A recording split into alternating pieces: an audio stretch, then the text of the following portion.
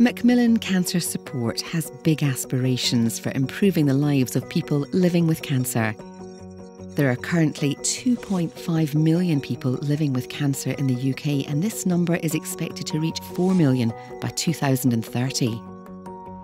Each of these people needs care and support to help them take back control of their lives. Macmillan uses authoritative and reliable data to better understand what people need throughout their cancer journey and beyond.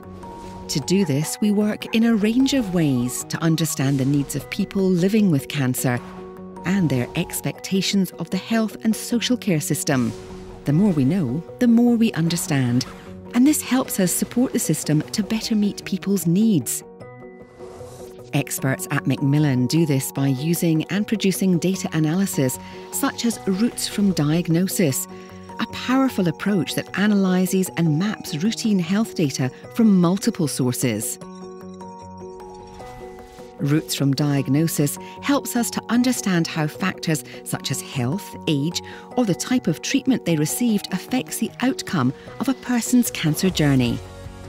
This work has already been used to design new care pathways in different parts of the UK. Another example of our work is the Local Cancer Intelligence Tool, which brings together local data on the needs and priorities of people with cancer. This evidence helps local commissioners develop better cancer services in their area. We've also established new research programmes, such as the CREW study, CREW stands for Colorectal Wellbeing. It's a study of recovery following colorectal surgery. It is the first large scale longitudinal study asking the same group of people with colorectal cancer about various aspects of their lives before treatment begins and at regular intervals following their surgery. The strong evidence shows health and social care professionals how people are impacted by colorectal cancer and its treatment. This helps us help them to regain control of their lives. Our evidence identifies where and how change is needed, and it helps us support and work with the health and social care system to respond to the needs of people with cancer. But there is still more work to be done.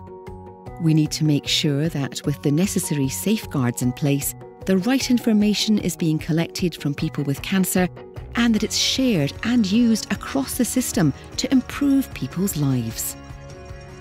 One of the ways we will meet our aspirations with data will be by working with the best people, best organisations, and best technology to ensure that the most robust and insightful data informs the development of services and drives change across multiple audiences. This will help to improve the lives of the growing number of people living with cancer and make sure that no one faces cancer alone.